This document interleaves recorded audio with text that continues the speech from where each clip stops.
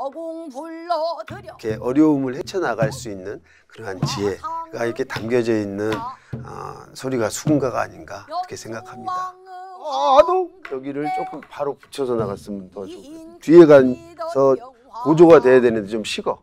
남극 천자 등허대 일월 그리든 화